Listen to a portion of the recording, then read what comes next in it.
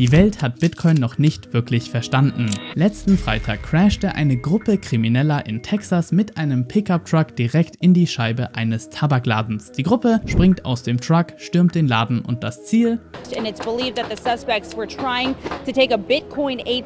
Ja, diese Gruppe hat versucht, einen Bitcoin-ATM zu stehlen. Wie aber ABC News weiter berichtet, But we're not successful because here's the thing Bitcoin is a digital currency, so there's no actual money inside.